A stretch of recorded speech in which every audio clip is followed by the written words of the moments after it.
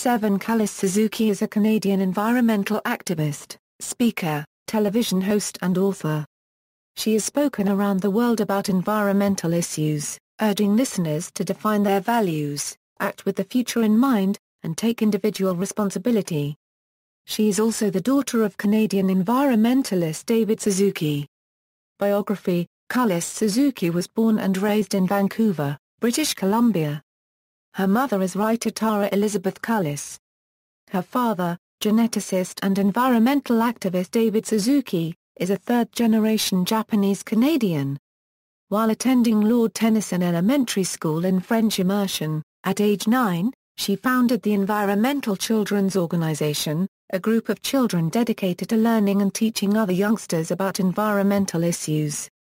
In 1992, at age 12, Cullis Suzuki raised money with members of ECO to attend the Earth Summit in Rio de Janeiro. Along with group members Michelle Quigg, Vanessa Suttie, and Morgan Geisler, Cullis Suzuki presented environmental issues from a youth perspective at the summit, where she was applauded for a speech to the delegates. The video has since become a viral hit, popularly known as The Girl Who Silenced the World for Five Minutes.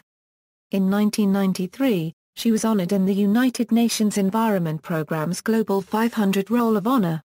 In 1993, Doubleday published her book Tell the World, a 32-page book of environmental steps for families.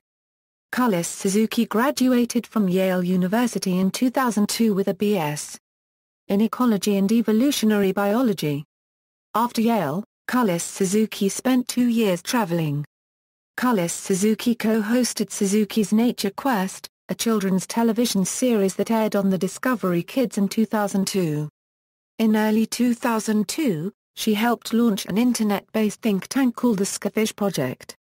As a member of Kofi Annan's Special Advisory Panel, she and members of the Skyfish Project brought their first project, a pledge called the Recognition of Responsibility, to the World Summit on Sustainable Development in Johannesburg in August 2002. The Skyfish project disbanded in 2004 as Cullis Suzuki turned her focus back to school. She enrolled in a graduate program at the University of Victoria to study ethnobotany under Nancy Turner, finishing in 2007. Severn is married and lives with her husband and two children in Haida Gwaii, British Columbia, formerly the Queen Charlotte Islands. Severn Cullis Suzuki is the main character in the documentary film Severn, The Voice of Our Children, directed by Jean-Paul Jaud released theatrically in France on November 10, 2010. References. External links. Severn Cullis Suzuki at the Internet Movie Database, The Young Can't Wait by Severn Cullis Suzuki, Time Magazine, August 2002, Freedom and Rights by Severn Cullis Suzuki at Library and Archives Canada, Severn Cullis Suzuki Search on YouTube Severn Cullis Suzuki's speech at UN Earth Summit 1992 on YouTube, We Need to Win, Michael Archer interviews Severn Suzuki, Guernica Magazine, April 2009, Democracy Now! Interview from 2012